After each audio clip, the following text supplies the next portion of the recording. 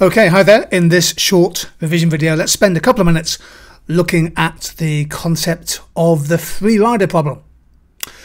So in 1952, the famous economist William Baumol described for the first time the free rider problem. And essentially, it's a market failure in which those who benefit from a shared, often scarce resource do not pay for them. In other words, there's a benefit they get, but they don't make a contribution to the cost. And the free rider problem uh, leads to under provision of a good or service and thus can be a key cause, an important cause of market failure. So essentially the problem occurs when people can benefit from a good or service without paying anything towards it. They have little incentive to reveal how much they're willing and able to pay, particularly for a public good, because they can actually get that benefit, a private benefit, without making a contribution to the cost. And oftentimes, for example, people can get away with making just a, a token contribution, something that's uh, well below their own, their own private benefit. And of course, if, if enough people can enjoy a good or service without paying for the cost, there's a big danger that in a free market, uh, where you need to make a profit, uh, the good will be under provided or not provided at all. And this is the market failure in the sense that uh, pure public goods are not provided in part because of the free rider problem. There is a wider context, I think, to the free rider problem. It's just going to bring into this video some areas where you might want to, to use the concept. For example, open spaces, national parks, city parks, etc.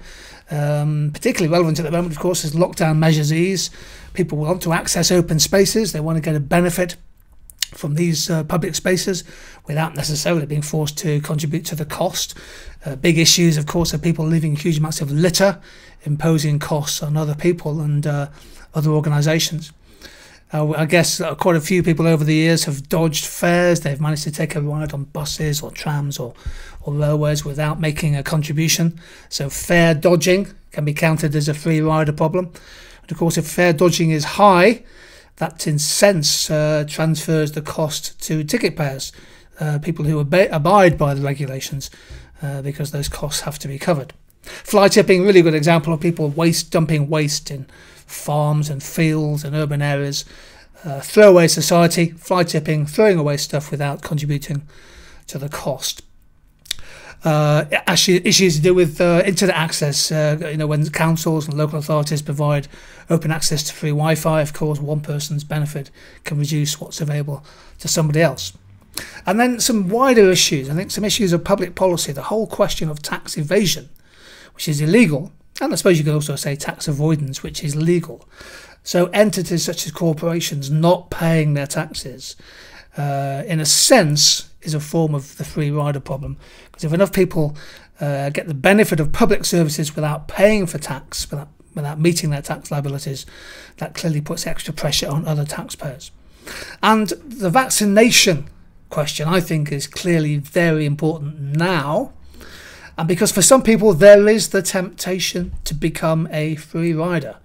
Imagine the conversation. I want the benefits of herd immunity from a national vaccination program, but I'm going to let others get the jab, let them deal with the hassle and possible side effects, and take on the perceived risks, whereas I get the benefit without making a contribution.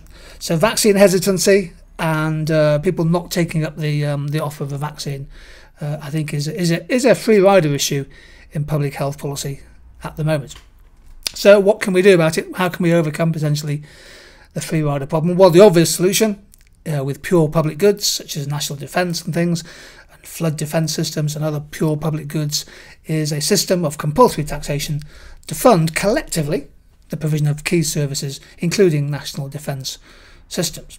Second approach is to adopt a behavioural approach. Uh, actually, the second and third options here are both behavioural, appealing to people's altruism and sense of social purpose.